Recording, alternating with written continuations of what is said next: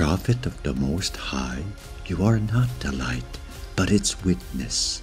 Even before you were born, you revealed it, joy without words.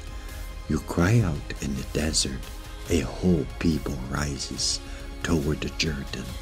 Your baptism awakens the thirst for living water. Near is the source.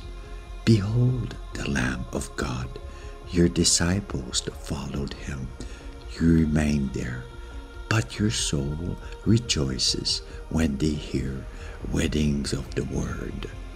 Free the King, you constant this world without infinity.